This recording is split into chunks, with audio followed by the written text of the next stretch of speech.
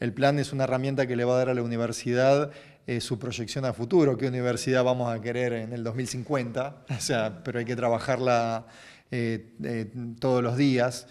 Y bueno, se, vino haciendo ya fin del año pasado un trabajo de, digamos, de comunicación muy fuerte sobre el significado de cómo se elaborar el plan. Se contrató al profesor Rinesi, que es una eminencia a nivel nacional de la de, la de Universidad de Sarmiento.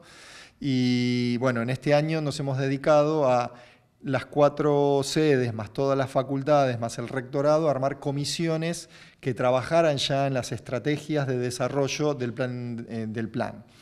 Eh, y estas estrategias quedaron en distintas dimensiones, dimensiones institucionales, dimensiones académicas, pero lo que está muy interesante de toda la tarea que estuvimos haciendo es que la universidad se junta y se repiensa, digamos, hay toda una cuestión de sentarse, pensar las prácticas como las estamos haciendo ahora y en realidad cómo queremos que sea la universidad del futuro.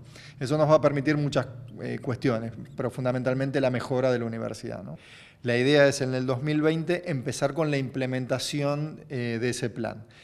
Eh, durante todo el 2020 se va a trabajar para que al próximo mandato, digamos, de gobierno de la universidad le quede ya bien un documento que son las guías y las bases de lo que se va a tener que justamente seguir para lo que se viene.